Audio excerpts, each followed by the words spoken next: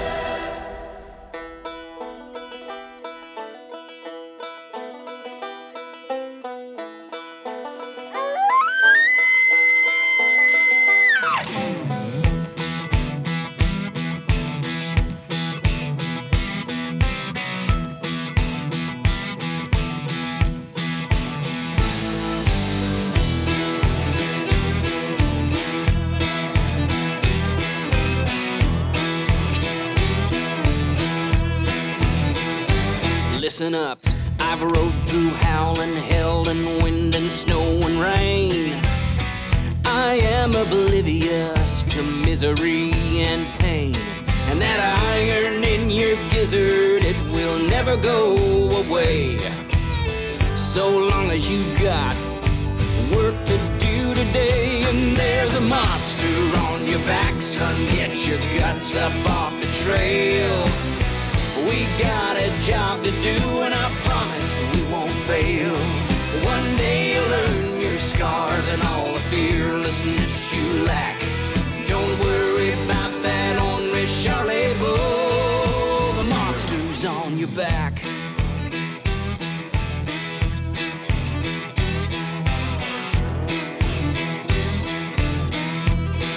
There's a monster on your back. It really takes a team of hardcore hunters and friends to make Outback Outdoors a success. And today we're going to join two of them. Chris Callinan is going to head into the high country of California for an archery mule deer buck hunt, do it yourself style. Then we're going to switch gears, head into the high country of California once again with Wade McCammond as he tries to harvest a once in a lifetime California desert bighorn sheep. He rallies the troops and they head up into the high country for this very special hunt. You're not going to want to miss it. Stick around. Outback Outdoors starts right now. Mid to late August, we're on our way to Northern California to hunt a general California archery tag.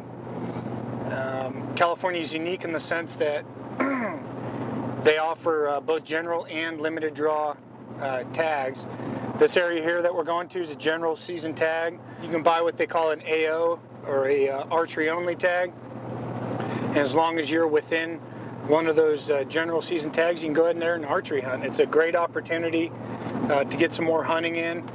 And um, great country. We're going to be hunting uh, the high country of uh, Northern California. We're going to be right around between 9,000 and 10,500 feet.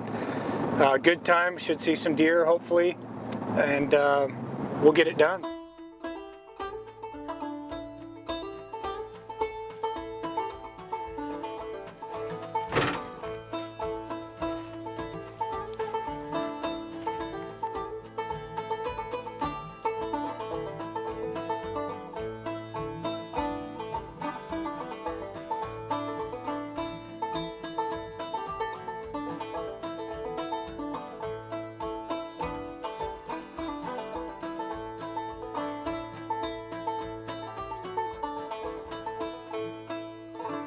Okay, so we made it here. We're uh, about a quarter mile from camp, and uh, this is a pretty good location uh, in order to get some water before we go to camp. That way we don't have to lose elevation. Camp, uh, the, the spot that we're going to be staying at is situated kind of on a, uh, a knife ridge, and it affords us the opportunity to look down both the uh, north side, the east side, and the west side of the mountain range.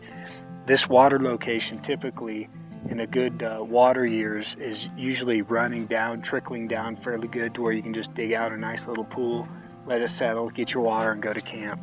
Um, this year's been a little bit drier, Um, so as you can see here, there's this is just a wet, damp, moist area. So what we've done is we've dug out a little hole.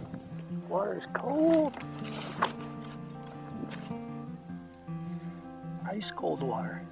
It's uh, maybe eight inches deep, and uh, we'll just let the uh, silt and the mud settle a couple minutes, and uh, we'll get our water purifiers out. We'll go ahead and uh, slowly uh, get our water out fill up our water bladders, go to camp, and uh, set up camp and start glassing for the evening.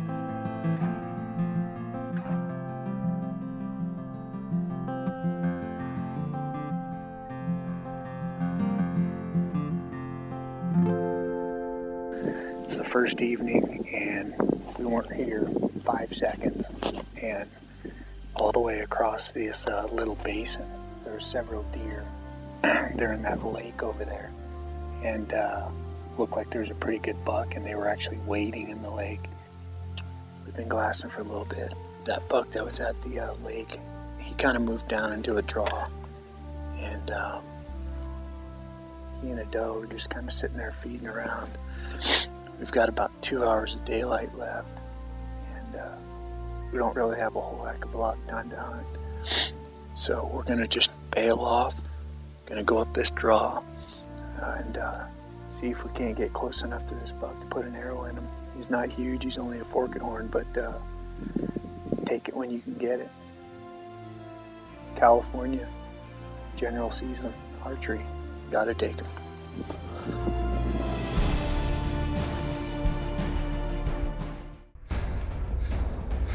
Definition, the new Rage Extreme is a broadhead designed to be used in an instance of aggression to the highest degree. Our most devastating broadhead yet, the Extreme creates massive wound channels and tears gaping holes.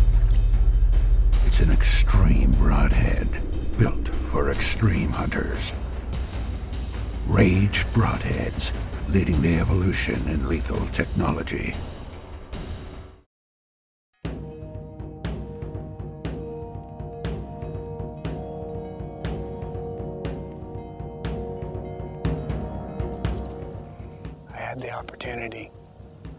Over this rise.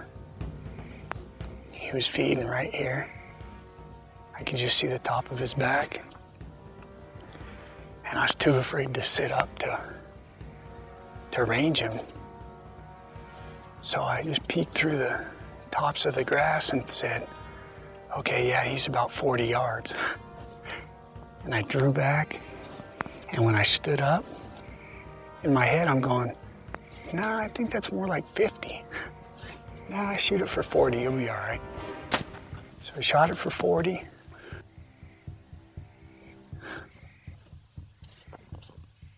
Can't eat the ones that get away. So I missed. Dadgummit. Just sitting here. I should have ranged it. Outback Outdoors Tech Tip of the Week. Ranger animal. That's what you carry them for.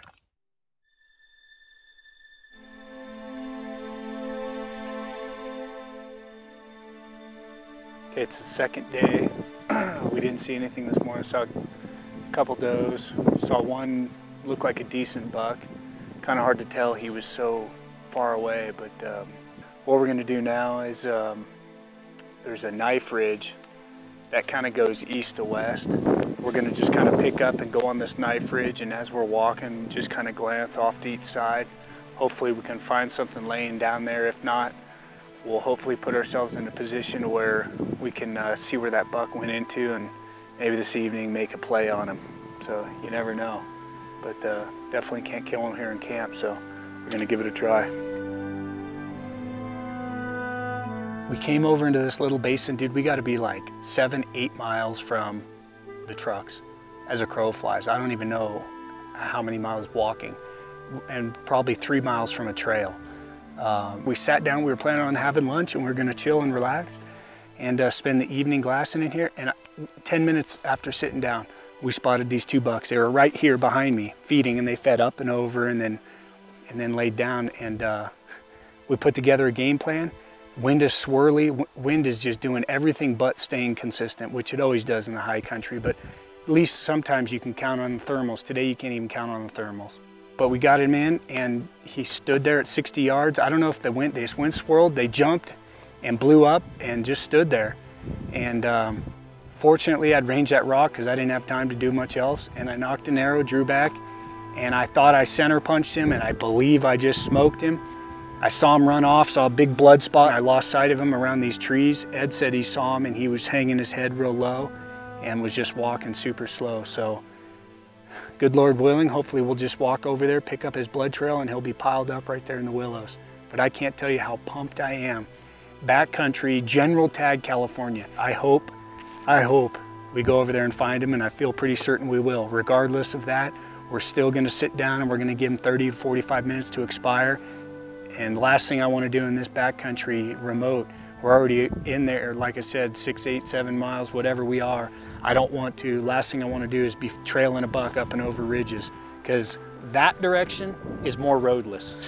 That direction is the roads. So we're gonna sit here, drink some water, get something to eat, and hopefully we'll be recovering that buck. Well, here we are. General season, California. Second week of the archery season. And here's the results. We got it done. This trip has been nothing but the epitome of highs and lows. I missed a buck yesterday. Uh, this buck presented a pretty good shot at uh, about 57 yards, standing broadside, had no idea I was there, and I let it go. And uh, I'll tell you what, this Rage, these gold tip arrows tipped with the Rage and this Hoyt Vector 35, I'll tell you what, is some potent, potent medicine. Um, this buck, I thought for sure he went, I lost sight of him and I, I thought he ran out 150 yards and uh, started tracking him, come around the corner and go 40 yards and there he is piled up. Unbelievable, beautiful, beautiful buck. Okay, we got the buck broke down. We're on our way back to camp. It's gonna be fun, but it's gonna be heavy and slow. Thanks for watching this episode of Outback Outdoors.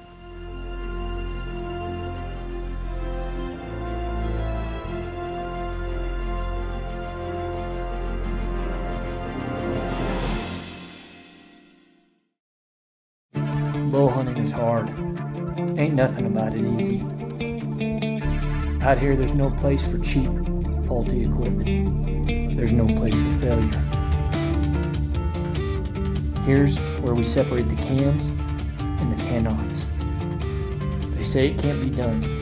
We say, watch us. Spot Hogg, the world's toughest archery products.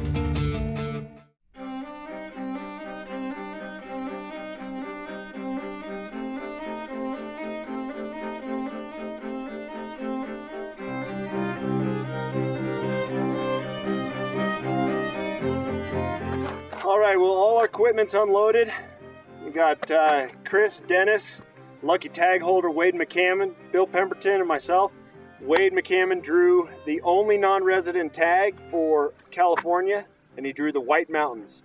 And the crazy thing about that is you guys hunted this last year with uh, your buddy Wes. And so you know the area, you know the country, and you know where you were seeing rams. We're gonna go ahead, load up in the Rangers, and, uh, and get to the trailhead. Let's pack in so we can start hunting. Good. All right.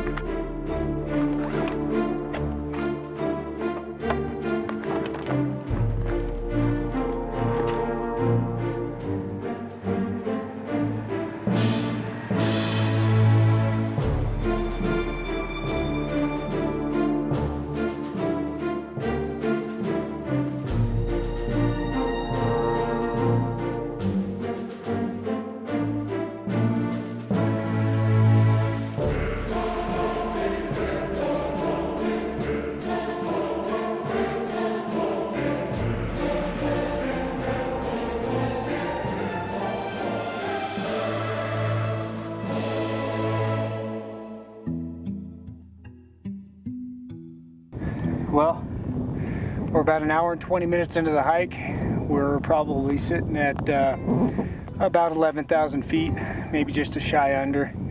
This is kind of the last of the big pull, and then uh, from here we top out, and then it's just kind of gradually climbs up. So we're getting into sheep country, and uh, it's going to be a good one. Hey, uh, forgot a granola bar in the truck. You go get it?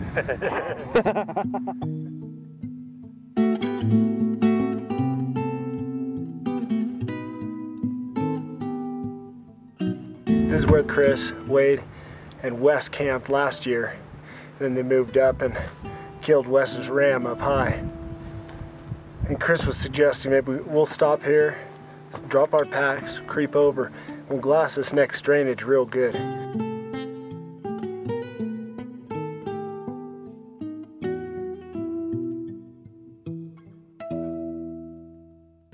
Home sweet home.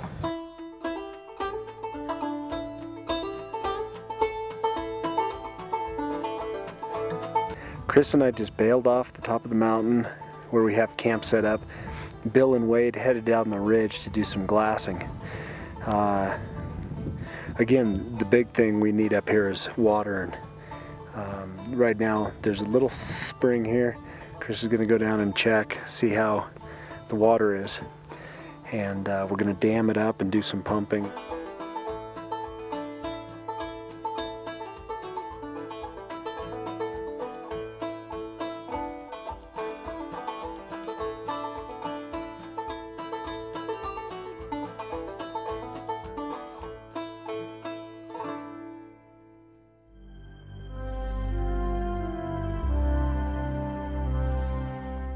This is the first morning that we have to hunt.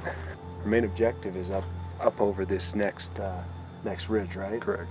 There's a couple real nice bowls over there that that's where the majority of the sheep have been hanging out. So it'll be a good morning. Be good. It's gonna be a good morning. Do it. Let's make it happen, huh? Do it.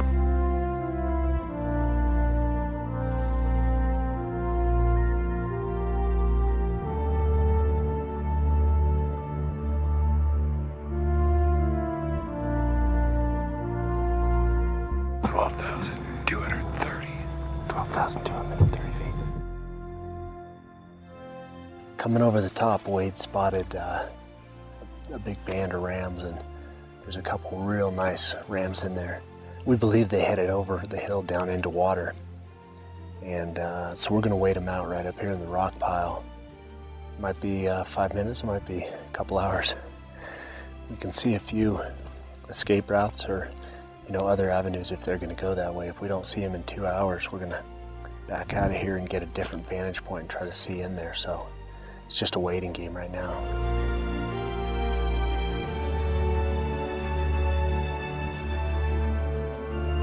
Well, we just finished up with our first day. A long day, 12,500 glassing in the wind and no shade. But, uh, you know, that's sheep hunting up here at the Whites. Tomorrow, we'll make a play. Hopefully, put one on the ground.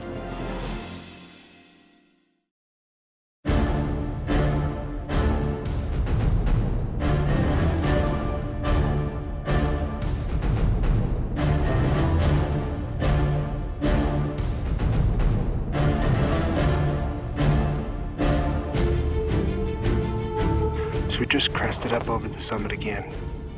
We're at uh, 12,430 feet. We sent Chris out on point. He's about 100 yards in front of us. And because there's 11 sheep in that band, we feel it's better that we have one guy go down and, and peek over the edges, kind of creep up so we don't have all these heads moving around and should be able to pick them off. But once we get down there, if, if he hasn't found them, then we're all going to put glass on the mountain.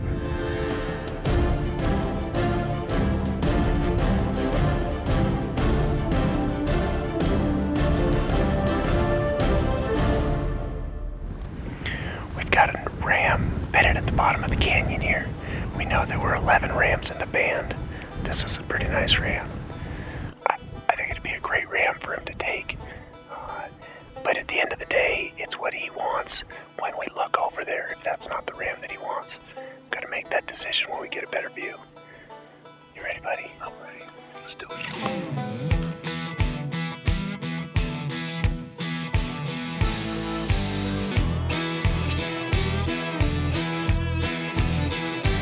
Listen up, I've rode this mountain 70 years I've been alive. Choked on rocks and rattlesnakes, a wonder I've survived. Don't think I haven't had a bronc like you try me. Every time he thinks a monster is hiding around a tree, well, the monster's on your back. Shoot, Dave. There's a monster on your back. It? Does that look like a sheep smile? uh, we sat on this ram. May not have been the best in the group of 11, but he was the most doable. Um, thought we better get a position so because he, was facing us, bedded, not a shot. And uh, as soon as I got in position, sure enough, he stood up and spun around. Um, we have a heck of a trek to the bottom to size everything up.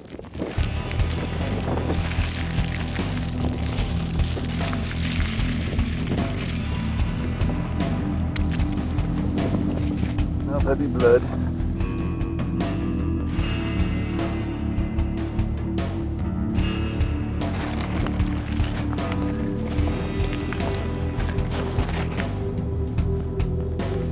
Guys, I can't thank you enough. Brother, Man, look at that. What a beautiful ram.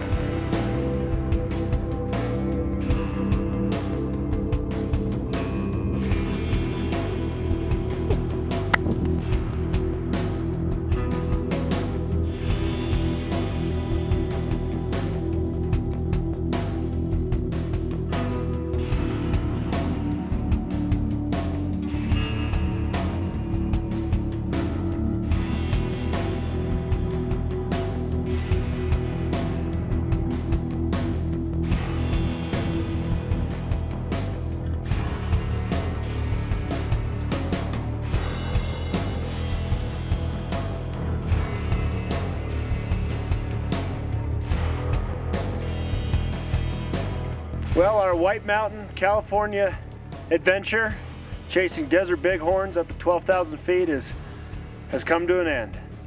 Thanks for watching this episode of Outback Outdoors. We'll see you where the white rocks and the green trees meet the blue sky.